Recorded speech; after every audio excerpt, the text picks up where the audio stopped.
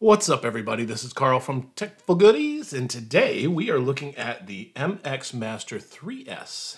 It's the Master Series by Logitech. It's a wireless and wired mouse. I wanted to bring this to you because it is a mouse that's about two years old, but it's still what I would consider a really, really good mouse, not only for gaming, but for creative stuff and productivity.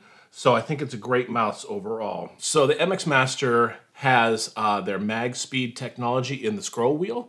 So that means you will have a tactile bump on that scroll wheel. But if you want to spin it really fast, you can do that. So it gives you the option of using it either way. And like I said, that is their MagSpeed scroll wheel. It also has a 8000 DPI or an 8K DPI and their sensor is supposed to be so precise that you can use it on glass even. So if you have a glass top desk, you can use it directly on there without a mouse pad. And it does have different app profiles that you can use. So let's go ahead and open this up.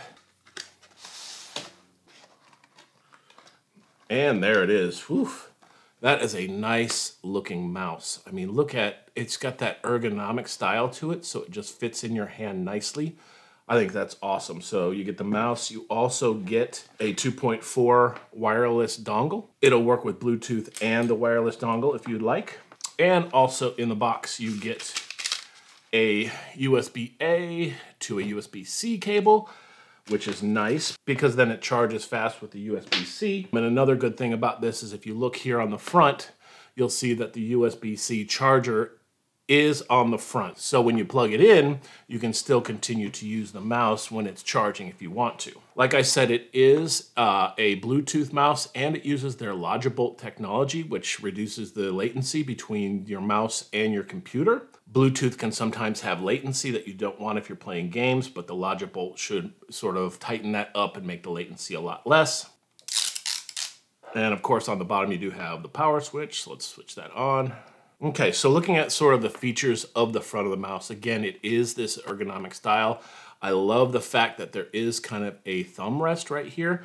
A lot of times when I'm using a mouse, I'll find that my thumb is rubbing on the table, and that just gives it the ability to sort of get your hand up off the table and give you a nicer, smoother slide.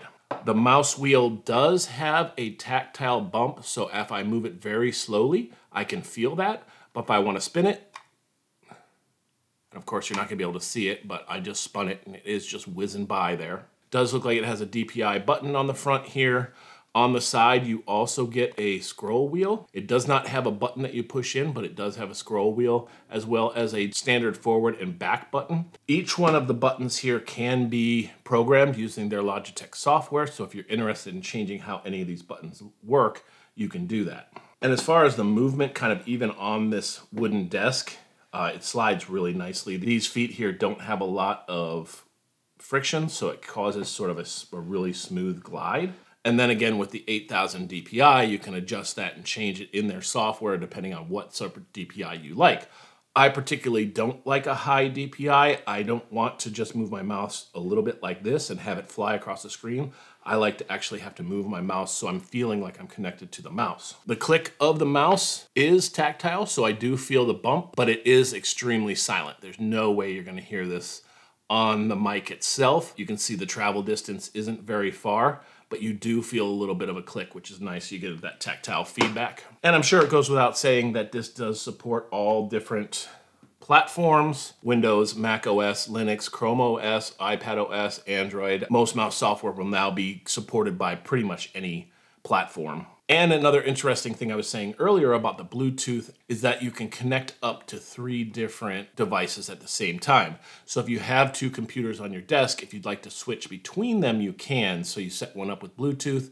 I think it has multiple Bluetooth profiles as well as the dongle, and you can just come in and there is a one, a two, and a three on the bottom here that you can switch between. A lot of times I think that's nice because if you have, like I said, multiple computers, maybe you have a laptop and then you have your iPad, you can use the same mouse on both devices. As I mentioned before, it does have the USB-C port on the front. It is considered a quick charge port, which uses the USB-C. They say on the documentation that you can charge it for one minute and use it for three hours, which I think is pretty incredible. That's one of the reasons I might choose a wired mouse over a wireless mouse is because I hate it when it runs out of battery and you have to charge it before using it.